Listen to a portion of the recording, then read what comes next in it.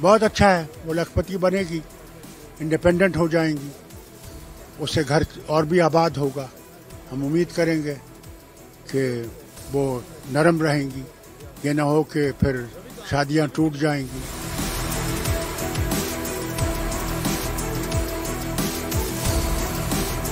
केंद्रीय वित्त मंत्री निर्मला सीतारमण ने गुरुवार को संसद के संयुक्त सत्र में अंतरिम बजट पेश किया।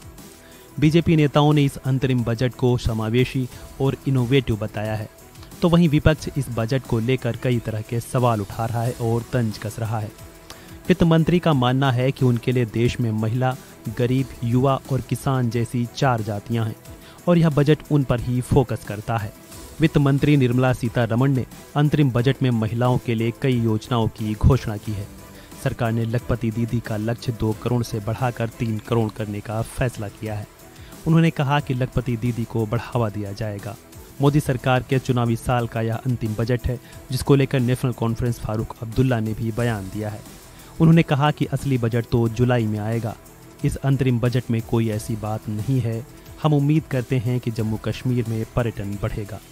साथ ही उन्होंने लखपति दीदी को लेकर भी बड़ा बयान देते हुए कहा कि अच्छा है, वह लखपति बनेगी। घर आबाद होगा।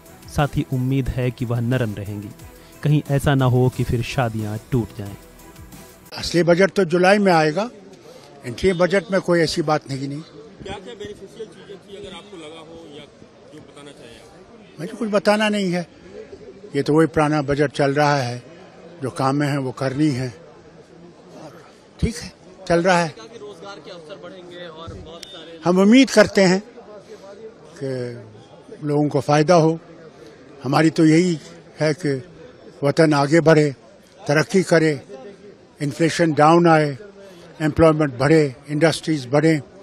हमारी यही तो ख्वाहिश है टूरिज़्म बढ़े। जी ट्वेंटी में जो आए थे टूरिज़्म की मीटिंग हुई थी कश्मीर में। हम उम्मीद करते हैं कि बाहर से और लोग आएँगे टूरिज़्म में। और अभी बर्फ़ पड़ी है अच्छी तो स्कीइंग के सीज़न शुरू हो जाएगा। उम्मीद करते हैं वो भी आएँगे। महिलाओं के लिए लखपति चीज़ें बहुत अच्छा है, वो लखपति बनेगी इंडिपेंडेंट हो जाएँगी उससे घर और भी आबाद होगा।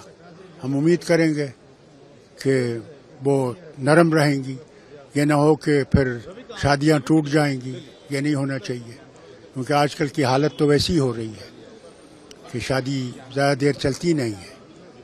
उसकी तरफ़ भी हमें ध्यान चलना चाहिए कि कैसे घर चलें घर आबाद रहें शादियाँ आबाद रहें।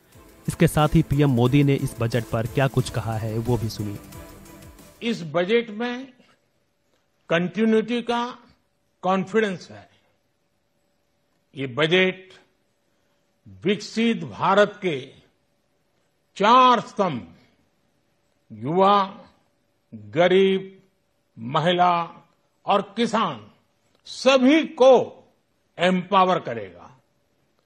निर्मला जी का ये बजट देश के भविष्य के निर्माण का बजट है।